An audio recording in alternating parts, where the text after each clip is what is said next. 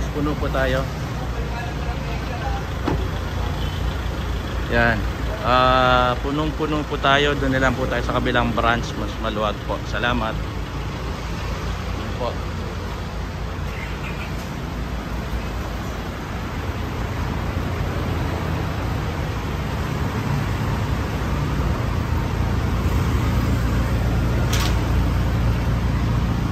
Kilos ano, patingin.